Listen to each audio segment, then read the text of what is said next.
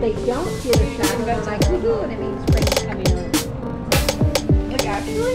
No, it's just, it's just an old wives' tale.